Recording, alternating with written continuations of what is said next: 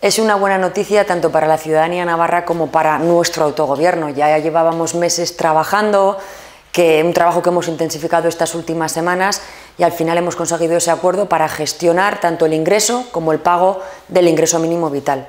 Esto nos reafirma en el camino emprendido de diálogo con el Gobierno de España, porque ese diálogo da sus frutos positivos. Lo hemos visto con sanidad penitenciaria, ahora con el ingreso mínimo vital y esperemos que en breve también con el tema de tráfico y seguridad vial. Gobierno de Navarra. Nafarroako gobernua.